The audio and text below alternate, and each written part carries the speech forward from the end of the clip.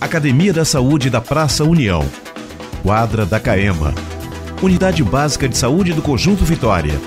Tudo pronto ao seu dispor.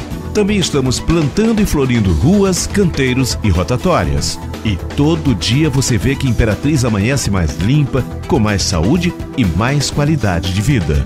A manutenção de tudo isso depende de todos nós. É assim que a gente faz uma cidade melhor e mais bonita.